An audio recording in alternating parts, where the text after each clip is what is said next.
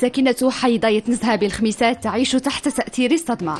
ستة أفراد من عائلة واحدة لقوا مصرعهم بعد استحمامهم واستنشاقهم لغاز البوتان في هذا المنزل كانت فصول مأساة مفجعة. العم يروي تفاصيلها. كل شيء ما توقتي بستة بيهم. جا عندنا السيد في الليل. قال لك نوض خوك مات وولادو كاملين.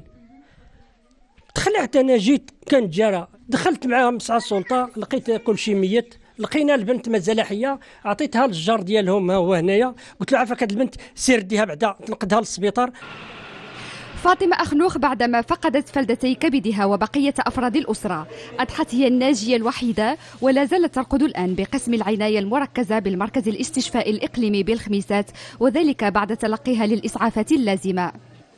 وخرج رحت طلعت شرجمت كلنا رديت كلنا من طلعت كنعيط على الجيران كنعيط الجيران كنقول لها أجي أجي عتقونا أجي أجي عتقونا كلشي مات بقيت غير بحدها في الدار جبدت الساروت من الجيب نتاع باها الله يرحمه وعاد حليت الباب.